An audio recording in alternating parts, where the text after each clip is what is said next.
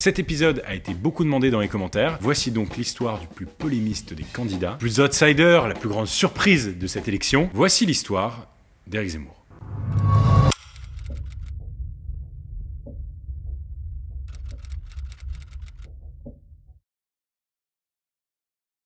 Éric Justin Léon Zemmour, né le 31 août 1958 à Montreuil, en Seine-Saint-Denis. Sa famille est composée de son père, Roger Zemmour, il est ambulancier, et de sa mère qui s'appelle Lucette Lévy, qui elle est femme au foyer. Éric Zemmour a aussi un petit frère, il est aujourd'hui libraire. La famille Zemmour, c'est une famille juive d'Algérie, arrivée en métropole en 1952, soit six ans avant la naissance d'Éric Zemmour, qui se présente lui-même comme un juif d'origine berbère. Il a rappelé que Zemmour, ça veut dire Olivier. Zemmour veut dire Olivier, mais il a dit en arabe. C'est une erreur. Oui. C'est en berbère. Et je peux vous dire que pour les berbères, ce n'est pas la même Il chose. se dit d'ailleurs d'Algérie et pas algérien. C'est donc à Drancy, en Seine-Saint-Denis, que Éric Zemmour va grandir. Euh, J'habitais là au. Je crois que c'était le premier étage, ou euh, rez-de-chaussée, je sais pas comment on peut dire, du, du premier bâtiment, là, le 22. Alors c'est curieux parce que euh, apparemment rien n'a changé. Il commence son éducation à l'école Lucien de Hirsch, la plus ancienne école juive de France, avant de rejoindre le groupe scolaire Yabné. Pendant son adolescence, Éric Zemmour quitte la Seine-Saint-Denis et déménage à Paris, rue Doudoville, dans le quartier de Châteaurouge. J'ai habité là pendant toutes les années 70 à peu près.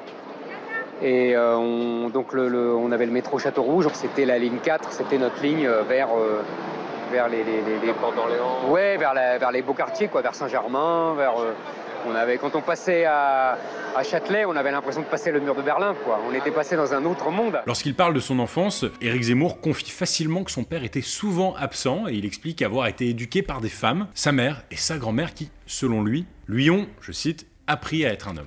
Alors, après son bac, Éric Zemmour intègre l'Institut d'études politiques de Paris, Sciences Po, quoi, dans la filière service public dont il sort diplômé en 1979. Il fait partie des étudiants ambitieux, il tente donc d'intégrer l'école nationale d'administration, qu'on appelle plus communément l'ENA, mais il rate par deux fois le concours en 1980 et en 1981. Pour lui, c'est un échec difficile à digérer, comme il le dit dans une interview donnée au point. Je n'ai pas pu briller. L'année suivante, ce fut pire, j'ai été éliminé dès l'écrit. J'étais meurtri car on ne me reconnaissait plus comme le premier de la classe. Alors bon, bon gré mal gré, il décide donc d'entrer dans la vie active et sa carrière semble prendre une direction toute tracée. Pour lui, ce sera le journalisme. Enfin, toute tracée, pas totalement parce qu'au départ, il intègre une agence de pub dans laquelle il rédige des slogans. Donc si vous baladiez dans les années 80 en France, vous êtes peut-être tombé sur une pub rédigée par Éric Zemmour. Il est finalement pris en stage au quotidien de Paris en 1985, dans lequel il va écrire son premier article. Voilà, c'est bel et bien le début de la carrière journalistique d'Éric Zemmour. Et vous allez voir, on peut globalement découper en deux grandes périodes cette carrière journalistique dans lesquelles il diffuse les premiers contours de son système de pensée. Donc ça c'est avant 2010 et puis il y a l'après 2010, une fois qu'il sera définitivement connu et reconnu et à ce moment-là, il est davantage considéré comme un polémiste. Toutes ses paroles deviendront écoutées, commentées, débattues et même parfois attaquées, mais n'allons pas trop vite en besogne.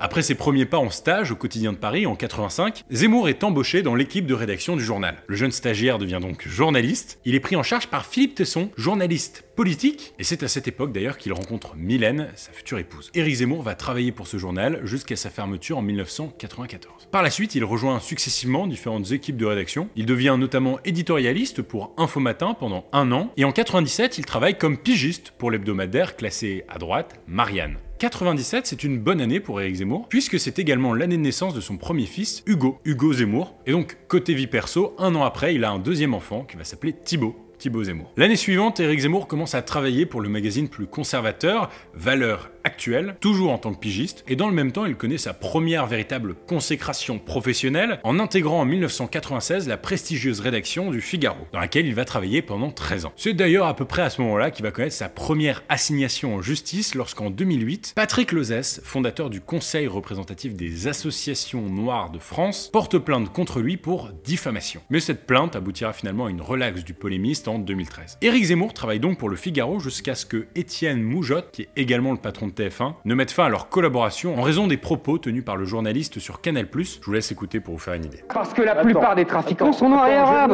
Donc c'est comme ça, c'est un fait. Attends, attends.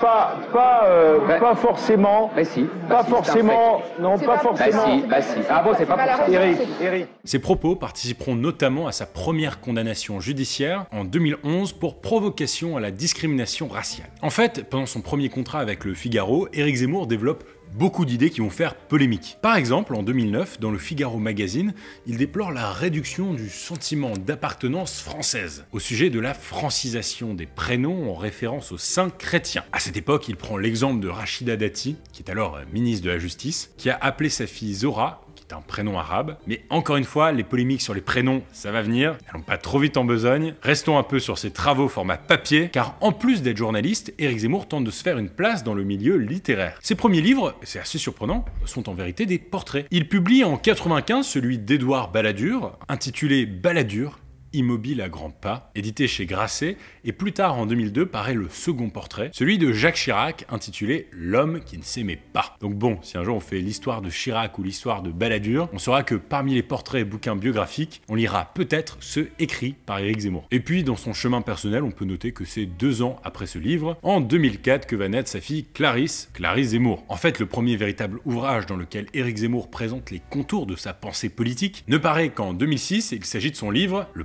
sexe, un pamphlet dans lequel il dénonce ce qu'il appelle une féminisation de la société, au sens d'un adoucissement des rapports de pouvoir et de l'identité de l'homme qui, selon lui, serait fondée sur la force physique, voire la violence. Deux ans plus tard, il publie Petit Frère, inspiré de l'affaire du meurtre à caractère antisémite du DJ Sébastien Selam, qui a eu lieu en 2003, et il s'essaye cette fois-ci au genre du roman, un roman qui reste toutefois très politique, et dans lequel l'auteur Zemmour s'oppose à, je cite, l'angélisme antiraciste. La publication de ce roman lui vaudra un procès de la famille de Sébastien Selam, que Éric Zemmour décrit dans le livre comme étant un mauvais juif. Finalement, c'est le Z, comme il faut l'appeler maintenant, qui remportera ce procès. Par la suite, il est également l'auteur d'autres ouvrages, comme Mélancolie française en 2010, dans lequel il revient sur des grands événements de l'histoire de France. Mais entre 2000 et 2010, Éric Zemmour ne se fait pas seulement un nom par la presse écrite ou la littérature, mais également et surtout grâce à la télévision. Sa première apparition à la télé remonte à 2002. Il venait présenter son livre sur Jacques Chirac dans l'émission Tout le monde en parle, présentée par Thierry Ardisson sur France 2. Alors, Eric Zemmour, euh, merci d'avoir choisi euh, Tout le monde en parle pour votre première euh, télévision. À partir de ce bouquin dont on va beaucoup parler, euh, ça a commencé cette semaine avec l'Observateur et Le Monde. Et à mon avis, c'est pas fini. Et visiblement, l'expérience des caméras lui a plu, puisqu'en 2003, il intègre l'émission hebdomadaire Ça se dispute sur iTélé, dans laquelle il fera face à Christophe Barbier jusqu'en 2006, puis à Nicolas Doménac. Il va aussi participer à l'émission Vendredi pétante sur Canal+, jusqu'en 2006. Bref, avec ses passages à la télévision, celui qui apparaissait jusque-là comme un journaliste politique et un biographe de personnalité politique commence à diffuser son avis à un public plus large et de manière plus libérée. Mais si vous avez à peu près mon âge, Éric Zemmour va surtout acquérir une notoriété importante à partir de 2006 en participant en tant que chroniqueur à l'émission Hebdo de Laurent Ruquier, On n'est pas couché. Dans cette émission, au début, il est d'abord aux côtés du journaliste Michel Pollack, puis de son ami Éric Nolot, et ce jusqu'en 2011. Et pour les plus jeunes d'entre nous, dans cette émission, en gros, Laurent Ruquier recevait tous les samedis soirs des invités sur son plateau qui venaient faire la promo de leurs bouquins, de leurs films, de leurs spectacles, et les chroniqueurs avaient carte blanche pour donner leur avis sur le travail de l'invité. Cette émission, longtemps diffusée en deuxième partie de soirée, était connue pour être une émission où la parole était libre, et Zemmour, Nolo et d'ailleurs tous les autres chroniqueurs qui euh, les succéderont ont pu se lâcher pendant une dizaine d'années sur différents sujets. Et parallèlement à cette époque, Éric Zemmour est de plus en plus invité sur les plateaux de télévision. Beaucoup de ses déclarations font polémique à ce moment-là, comme lorsqu'il est invité à l'émission euh, Paris-Berlin sur Arte en 2008. C'est que ça veut dire que ça n'existe pas. On voit bien que ça existe. Et Alors comment, quand vous me dites, comment on le voit Enfin, je comprends Bah, pas ce que vous voyez. peau, tout bêtement. Et donc la couleur de peau, selon, selon vous, fait que moi j'appartiens, j'appartiens à une race différente de la vôtre. mais évidemment. Non mais que vous redécouvriez, bah, évidemment, j'appartiens à la race blanche, vous appartenez à la race noire. Non, S'il n'y a pas de mal, que ça vous et- Pendant cette période, les prises de position d'Éric Zemmour commencent à faire pas mal de bruit, et il y a un véritable intérêt, un début de fanbase qui commence à se créer autour de sa personne. C'est clairement à partir de 2010 que les prises de position d'Éric Zemmour commencent vraiment à avoir de l'écho dans les milieux journalistiques et politiques. Ses propos controversés vont d'ailleurs faire l'objet d'assignations en justice assez régulières à partir de ce moment-là. En 2010, malgré son renvoi du Figaro, Éric Zemmour continue en réalité de circuler dans les couloirs du journal, puisque très rapidement il travaille comme chroniqueur hebdomadaire dans le Figaro Magazine, qui est un supplément du journal. Et le journaliste est si tenace qu'il finit par réintégrer la rédaction du journal en 2013, tout en proposant chaque semaine une chronique dans le Figaro littéraire. Éric Zemmour poursuit également sa carrière d'écrivain et son essai Mélancolie française, paru en 2010, reçoit le prix littéraire du livre Incorrect, une récompense destinée aux ouvrages frappants par leur liberté de ton. Quatre ans plus tard, le 1er octobre 2014, il publie Le Suicide français, un essai dans lequel il défend l'idée de l'affaiblissement progressif de l'État-nation et s'oppose également aux affirmations de l'historien Robert Paxton concernant le régime de Vichy pendant la Seconde Guerre mondiale. Pour Zemmour, le régime de Vichy, qui avait à sa tête le maréchal Pétain, aurait permis de sacrifier les juifs étrangers pour sauver les juifs français, propos qu'il a réitéré plusieurs fois ensuite et qui lui ont valu d'être entendu en 2020 par le tribunal de Paris pour contestation de crimes contre l'humanité avant d'être relaxé. En fait, c'est grâce à ce livre que la diffusion de ces idées vont vraiment exploser. C'est toujours un peu compliqué d'avoir les chiffres en librairie, mais on parle de 300 000 exemplaires vendus en tout. Cet essai, au moment de sa parution, est vécu comme un véritable phénomène sociétal en France. D'ailleurs, fin octobre 2014, hein, il est en pleine promo pour son bouquin. Éric Zemmour est interviewé par un journal italien attention l'accent, Corriere della Sera, dans lequel il tient une nouvelle fois des propos sur l'islam, ce qui lui vaut une assignation en justice, qu'il gagnera cette fois encore. Concrètement, qu'est-ce qu'il a dit? Euh, Il a déclaré que les musulmans ont leur code civil, que c'était le Coran. Alors, si Eric Zemmour n'a finalement pas été condamné par la justice, il a néanmoins reçu une sanction professionnelle. En effet, la Société des journalistes d'ITélé réclame à l'époque un geste fort de la part de la direction, qui décide finalement de mettre fin à l'émission 16 disputes, à laquelle Eric Zemmour participait depuis plusieurs années déjà. Mais bon, malgré tout ça, Eric Zemmour va rester sur le devant de la scène, où il va diffuser ses idées, et au-delà de ses idées, c'est sa personne qui commence franchement à intéresser le public. Là, vous pouvez commencer à sentir le destin de l'homme politique qui commence à se dessiner. Alors, en 2018, il publie Destin français, et cette fois-ci c'est une autobiographie dans laquelle il raconte son histoire personnelle, mêlée à des événements de l'histoire de France qui l'ont marqué. Dans ce livre, il parle également de son inquiétude face à ce qu'il considère comme une influence grandissante de l'islam dans la société française petite pause dans cette vidéo pour vous dire une chose. J'espère que vous passez un bon moment. Je vous parle de politique, mais aussi d'actualité, d'enjeux de société. Je vous inviterai à aller voir mes vidéos à la fin de cette vidéo, mais je veux surtout vous inviter à vous abonner. Je bosse énormément pour vous proposer un travail de qualité. Si ça vous plaît pas, vous désabonnerez. C'est en 2010 qu'il fait ses premiers pas à la radio sur RTL avec une chronique quotidienne appelée Z comme Zemmour. RTL Matin. Z comme Zemmour.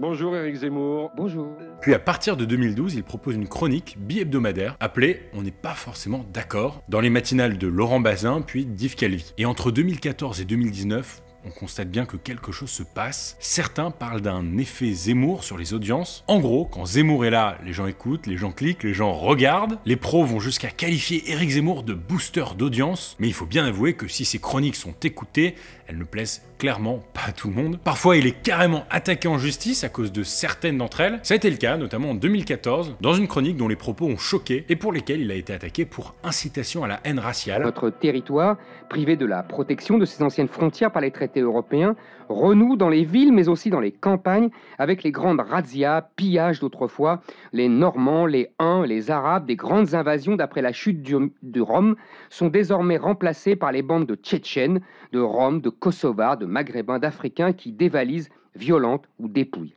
Mais Zemmour gagnera finalement le procès en cours d'appel, et dans les années qui suivent, deux autres chroniques vont donner lieu à des procès gagnés, encore une fois, par Zemmour. La première date de 2016, Zemmour est cette fois-ci accusé de diffamation par l'ancienne ministre Cécile Duflot, à qui il reprochait dans sa chronique d'être à l'origine des révélations de Mediapart sur Denis Baupin, alors euh, vice-président de l'Assemblée nationale et tout juste accusé de harcèlement sexuel par huit femmes politiques. Selon Zemmour, la politicienne a alors voulu se venger de la compagne de Denis Baupin, Ils se font aussi, et surtout, les instruments consentants de la vengeance politicienne de Cécile Duflot contre Emmanuel Cos, la compagne de Denis Baupin, qui l'a trahi pour un plan de lentilles, pour un plat de lentilles ministérielles.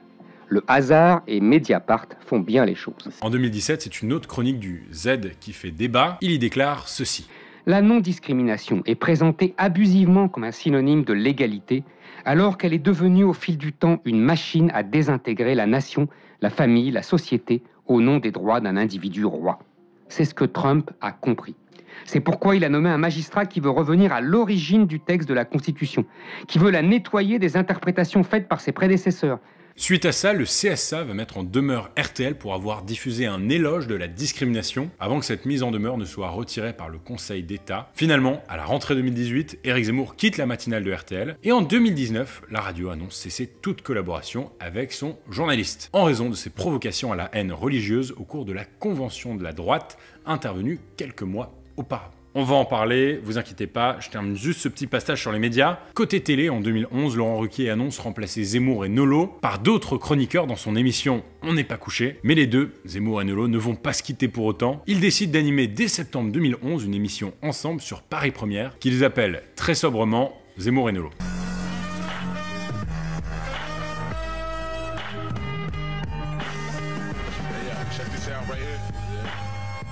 Cette émission est un véritable succès pour une émission de deuxième partie de soirée, mais clairement c'est sa participation à l'émission On n'est pas couché qui a permis à Eric Zemmour de se faire réellement un nom auprès du grand public, ce que regrettera d'ailleurs Laurent Ruquier en 2015. Mais enfin, je veux dire, et j'en sais quelque chose, je, vous le dis même très honnêtement, je le regrette aujourd'hui. Je suis un de ceux qui a donné la parole toutes les semaines, pendant cinq ans, ici Eric Zemmour, il a parlé, pendant cinq ans ses thèses ont été euh, euh, tous les samedis. Comment osez-vous dire qu'on a diabolisé? Eh bien, résultat. Vous le malgré, Oui, je le regrette. Malgré, oui, parce que je suis en train de me rendre compte que j'ai participé à la banalisation de, euh, de, ces idées-là. On se souvient également de cette séquence sur le plateau de Salut les Terriens en 2018, pendant laquelle Éric Zemmour est revenu sur sa des prénoms français face à la chronique pas en direct, et la production a voulu couper la scène, mais la chroniqueuse a tenu à ce qu'elle soit vraiment diffusée avant de porter plainte contre Éric Zemmour pour injures racistes, et le procès devrait avoir lieu en 2022. On le voit bien, les propos d'Éric Zemmour font l'objet de beaucoup de plaintes, mais c'est important de dire qu'il n'a finalement été condamné que deux fois. Comme je vous l'ai dit, sa première condamnation fait suite aux propos considérés comme une provocation à la discrimination raciale qu'il a tenu en 2011 sur Canal, puis il a été condamné une deuxième fois en 2018, et cette fois-ci c'est pour provocation à la haine religieuse envers les musulmans. Éric Zemmour a dû payer une amende de 5000 euros et verser des dommages et intérêts à des associations. Les faits ont eu lieu en 2016 lorsqu'il a fait sa promo de bouquin, un quinquennat pour rien, sur le plateau de C'est à vous. Et donc les soldats du djihad sont considérés par tous les musulmans, qu'ils le disent ou qu'ils ne le disent pas, comme des bons musulmans, qui, oh, c'est des guerriers, c'est des soldats de l'islam, c'est de l'occupation de territoire. Qu'est-ce que vous faites avec les musulmans en France? Est-ce que vous les euh, mettez à part? Est-ce que vous les chassez? Est-ce que vous leur interdisez d'exercer Je pense qu'il faut leur donner le choix entre l'islam et la France. Mais malgré tout ça, Éric Zemmour poursuit sa percée dans les médias et à partir d'octobre 2019, il intègre une nouvelle émission, Face à l'info, sur CNews, le nouveau iTélé. Au cours de ce programme, présenté par la journaliste Christine Kelly, Éric Zemmour débat avec des invités variés, et lors de sa première intervention, l'audience de la chaîne est multipliée par 3. Il faudra pas longtemps pour que les élus du personnel du groupe Canal, dont fait partie CNews, demandent le départ d'Éric Zemmour de la chaîne en invoquant des raisons économiques, puisque des publicitaires boycottent la chaîne à cause de la présence du polémiste. Ils invoquent aussi des raisons éthiques. De nombreux élus, allant de la France Insoumise à la République En Marche, refusent de se rendre sur le plateau tant que Éric Zemmour y est. Réaction, Canal décide de ne plus diffuser l'émission en direct. Bon, selon le journal Le Monde, cette décision a sûrement été prise afin de pouvoir éviter ce qu'il qualifie de dérapage du polémiste. Vous avez osé dire que Pétain avait sauvé les juifs français. ou avait sauvé les juifs français. C'est une monstruosité, c'est du révisionnisme. C'est encore une fois le réel. Non, le réel c'est que le réel c'est que Pétain a été plus royaliste que le roi. Il a édicté des, décrets en octobre 40 que l'Allemagne ne lui a pas demandé. Il n'y a pas, mais il n'y a pas de juste milieu. Il faut renverser la table. C'est-à-dire qu'il faut que ces jeunes, comme le reste de l'immigration, ne viennent plus tous. Pas tous. Tous, Christine, tous. Pourquoi? Mais parce qu'ils n'ont rien à faire ici, je vous le répète. Et s'ils sont souffrants ils sont, ils sont, ils sont voleurs, ils sont assassins, ils sont violeurs, c'est tout ce qu'ils sont. C'est quand même important de préciser que certains de ces propos euh, dans cette émission font l'objet de plaintes qui n'ont pas encore été définitivement jugées à l'heure où je tourne cette vidéo. Mais Zemmour continue d'attirer un public. Sur le créneau 19h-20h, CNews est la première chaîne d'infos française. Selon le magazine Challenge, un tel succès médiatique serait même allé jusqu'à inquiéter l'entourage du président Emmanuel Macron. La fin de l'année 2019 marque un nouveau tournant dans la vie du journaliste polémiste. En plus de son explosion médiatique, Éric Zemmour fait son entrée fracassante dans la politique en participant en 2019 à la convention de la droite. Très concrètement, il s'agit d'une réunion organisée par des proches de Marion Maréchal Le Pen, la nièce de Marine Le Pen. D'ailleurs, si vous n'avez pas vu l'épisode de l'histoire de Marine Le Pen, l'épisode est juste là. Le but de cette convention est donc de rassembler des partisans de la droite allant des républicains au Rassemblement national. Éric Zemmour apparaît alors comme invité d'honneur de l'organisation et il fait un discours d'à peu près une demi-heure dans lequel il entend s'opposer au progressisme qu'il considère être la nouvelle religion dominante. Il parle aussi de l'islamisation d'une France qui serait menacée par l'immigration. La question qui se pose donc à nous est la suivante. Les jeunes Français vont-ils accepter de vivre en minorité sur la terre de leurs ancêtres? Si oui, ils méritent leur colonisation.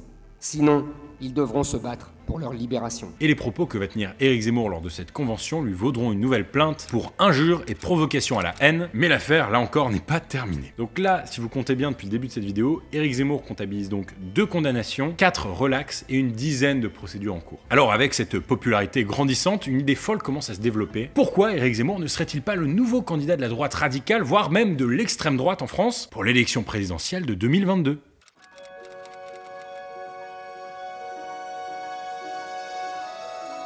En fait, dès avril 2021, on commence à voir des associations qui militent pour la candidature Zemmour 2022. Ces associations, vous les connaissez sûrement. On parle des Amis d'Éric Zemmour ou encore Génération Z, un collectif de jeunes militants pour Éric Zemmour. De son côté, le journaliste semble se prêter au jeu puisque certains médias révèlent qu'il fait parvenir à des élus locaux une brochure portant le titre Mieux connaître Éric Zemmour. En gros, il tâte le terrain pour les 500 signatures. Mais alors, si Éric Zemmour est un possible candidat, il doit être soumis aux règles de la campagne présidentielle. C'est en tout cas le raisonnement qu'a eu le CSA en demandant le 9 septembre 2021 aux chaînes de télévision de décompter son temps de parole en le qualifiant d'acteur du débat de la politique nationale. Ça veut dire quoi? Bah, Ça veut dire qu'il a plus le droit de parler plus que les autres candidats. Ça, ça lui plaît pas du tout Éric Zemmour. Il y en a un autre à qui ça plaît pas trop, c'est Vincent Bolloré. CNews est donc forcé de suspendre la participation d'Éric Zemmour à l'émission Face à l'info par souci de respect de la règle imposée par le CSA. L'émission Zemmour et Nolo sur Paris Première est elle aussi arrêtée? Et pour partiellement contrer ça, Éric Zemmour lance sa chaîne YouTube qui comptabilise à ce jour plus de 300 000 abonnés. La même stratégie en somme que d'autres politiques. Avec 300 000 abonnés, c'est moins que Jean-Luc Mélenchon. Bon, en même temps, Jean-Luc Mélenchon, il s'est lancé lors de la campagne en 2017. Bon, il avait un peu d'avance. D'ailleurs, si vous voulez en savoir plus sur l'histoire de Jean-Luc Mélenchon, la vidéo est juste là. Mais 300 000 abonnés, c'est toujours plus que moi. Alors abonne-toi. Bien, dépasse Eric Zemmour en termes d'abonnés.